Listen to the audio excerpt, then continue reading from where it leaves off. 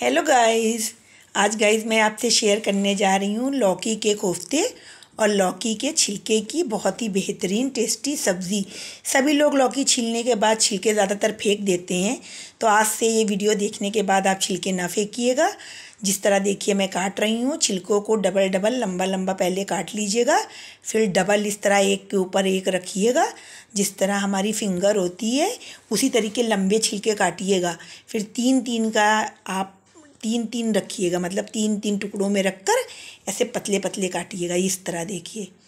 इस तरह काट लीजिएगा लंबे लंबे पतले पतले काटिएगा। फिर एक प्याज लीजिएगा पाँच छः हरी मिर्चें। और कुछ आपको नहीं लेना है, बहुत ही बेहतरीन सब्ज़ी बनती है। इसमें मसाले नहीं पड़ते हैं। जब ऑयल हो जाए तो ऑयल में आप सबसे पहले प्याज और हरी मिर्चें डाल दीजिए, जो आपने काट के रखी है। और इसको हल्का सा गुलाबी कर लीजिए। प्याज को और हरी मिर्चों को। बहुत ही टेस्टी सब्ज़ी बनती, सभी छिलके फेंकते हैं तो अब ना फेंकिएगा। पराठे और रोटी से बहुत अच्छी लगती है, घी लगी रोटी से। अब छिलके डाल दीजिए। और स्वाद अनुसार नमक डाल दीजिए, पानी मत डालिएगा। धीमी आँच पे पाँच मिनट इसे ढक के पका लीजिए। सिर्फ़ नमक डालिएगा। ये देखिए ऊपर नीचे करके बस धीमी आँच पे पाँच मिनट पकाएँगे तो ये बन जाएगी। क्योंकि लौकी में ऑलरेडी पानी होता है तो छिलके पानी अपना छोड़ देते हैं मॉइस्चराइज़र आ जाता है, पाँच मिनट पकाइए। ये देखिए हमारी बेहतरीन छिलके की सब्ज़ी तैयार है। ढक के पाँच मिनट पकाइए। ये देखिए हमारी सब्ज़ी तैयार है, बस इसे निकाल लीजिए। अब ये रेडी है खाने के लिए। ये देखिए कितनी अच्छी बनी है, इसे आप रोटी से एंजॉय कर सकते हैं। चलिए अब कोफ्ते बना लेते हैं तो लौकी को सबसे पहले छिलकों का तो इस्तेमाल कर लिया आप लौकी के कोफ्ते बनाते हैं। सबसे पहले लौकी को कद्दूकस से कस लीजिए। बीज वाली लौकी बिल्कुल मत लीजिएगा, जिसमें बहुत बड़े बड़े बीजे होते हैं छोटी छोटी लौकी के बनाइएगा, कोफ्ते बहुत अच्छे बनते हैं। कद्दूकस से सबको कस लीजिए। जितने भी टुकड़े हैं और कसने के बाद थोड़ा सा पानी डालिए जितना मैंने डाला है, देखिए। अंदाज से देख लीजिएगा, उंगली से या किसी कलछिल से, ज़्यादा पानी ऊपर ना हो, पाँच मिनट इसे बॉईल कर लिए। ज़्यादा बॉईल मत कर लिए। अब बॉईल हो गया बॉईल करने के बाद एक छन्ने में निकाल लीजिए, इसका एक्स्ट्रा पानी सब हटा दीजिए। जब ये ठंडा हो जाए तो हाथ से निचोड़ लीजिए दबा दबा के, इसमें कोई भी एक्स्ट्रा पानी ना रह जाए, वरना आपके कोफ्ते गीले हो जाएँगे। ये देखिए, सब निचोड़ लिया है। एक प्याज ले लीजिए, ढेर सारा धनिया और दो हरी मिर्च और लौकी को बिल्कुल निचोड़ के रख लीजिए। फिर दो चम्मच बेसन भून लीजिए। बेसन बस दो ही चम्मच लीजिएगा, ज़्यादा बेसन मत ऐड करिएगा, वरना लौकी के कोफ्ते टाइट हो जाएँगे। दो छोटे चम्मच बेसन ले लीजिए, जब बेसन ठंडा हो जाए तो इसको ऐसे हाथ से दबा दबा के इसकी जो फुटकी होती है, वो तोड़ दीजिएगा। और इससे ठंडा होके ही मिलाइएगा, गरम बेसन ना मिलाइएगा, वरना कोफ्ते में गांठें पड़ जाएँगी।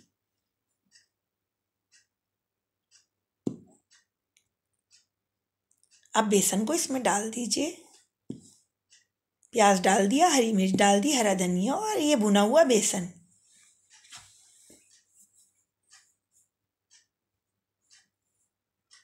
अब स्वाद अनुसार नमक डाल दीजिए।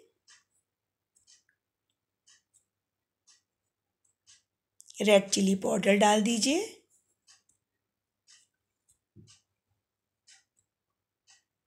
ज़ीरा पाउडर डाल दीजिए, ये होममेड ज़ीरा पाउडर है, मैंने बनाया है। इसकी रेसिपी आपको मेरे जाके वीडियो में देख लीजिए, मिलेगी। सूखा मसाला ज़ीरे वाला देख लीजिए, बहुत अच्छा बनता है।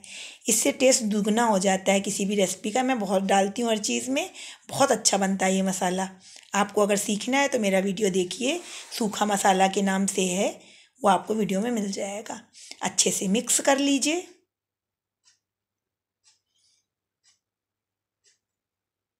मिक्स करने के बाद इसके छोटे छोटे से गोल गोल गोले बना लीजिए। जिस तरह रसगुल्ला होता है, उसी तरीके उसी साइज़ के बनाइएगा। जैसे ब्लैक वाला रसगुल्ला होता है सेम वैसे ही। जितने भी तैयार हो जाएँ, उतने आप गोले बना लीजिए। मैंने एक लौकी का बनाया है, ये एक लौकी के कोफ्ते हैं। इसमें आपके दस बारह कोफ्ते बन जाते हैं। ये देखिए, ऐसे रसगुल्ले जैसे बना लीजिए।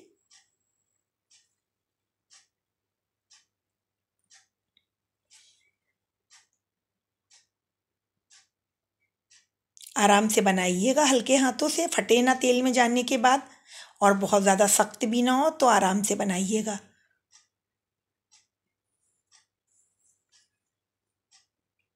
ये देखिए, सब तैयार हो चुके हैं। अब चलिए इसको फ्राई कर लेते हैं।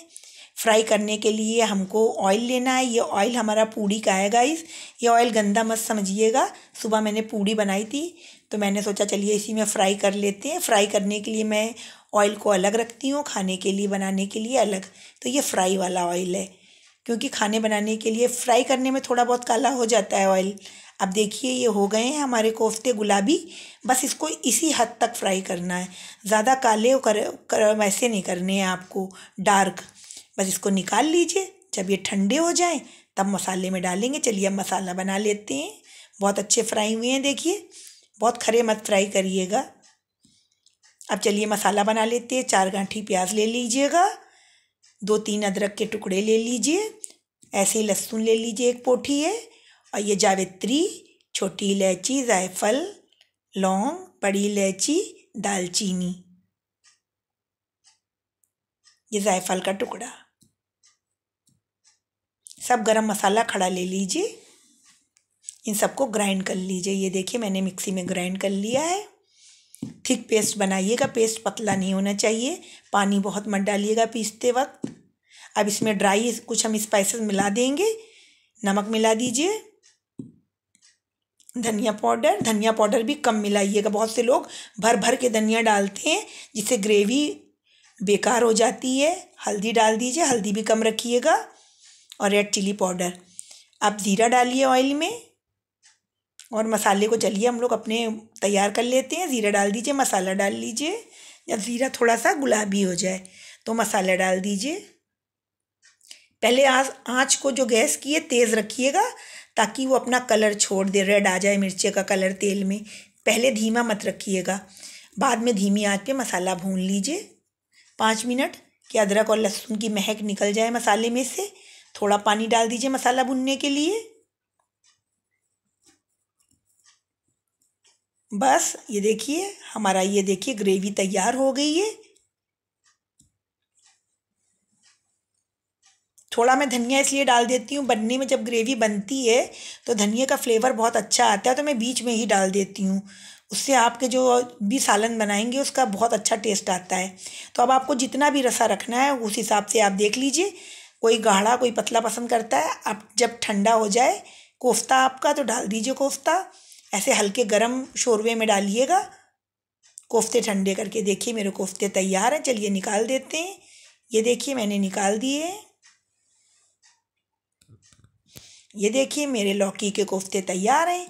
आप धनिए से गार्निश कर लीजिए और बताइए मेरे लौकी के कोफ्ते कैसे लगे हैं।